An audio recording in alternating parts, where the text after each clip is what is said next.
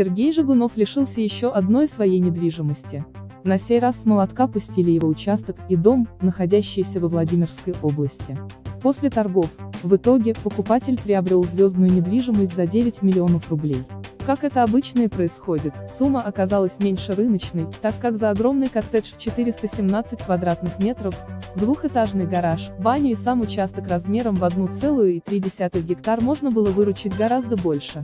Также ранее однокомнатная квартира Жигунова на Мосфильмовской улице ушла на торгах за сумму на 25% меньше реальной стоимости. Поддержите канал, подпишитесь, поставьте лайк, напишите комментарий, а также поделитесь видео с друзьями. Теперь Сергей Викторович намерен судиться из-за этих денег.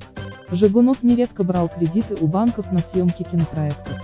Предполагалось, что успешные картины покроют все траты, позволят вернуть долги и остаться с прибылью. Но в реальности все оказалось иначе. Жигунов задолжал банку очень большие деньги. Естественно, этот долг накопился за несколько лет. История эта тянется с 2014 года. Именно тогда в одном из банков Волгограда Жигунов взял кредит на съемки новых проектов. А в прошлом году этот банк подал в суд Москвы иск на продюсера. За пять лет с учетом процентов задолженность составила 38 миллионов рублей.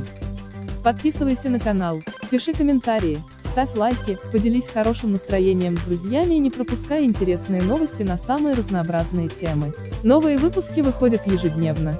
Приятного времяпровождения на канале «Самое интересное».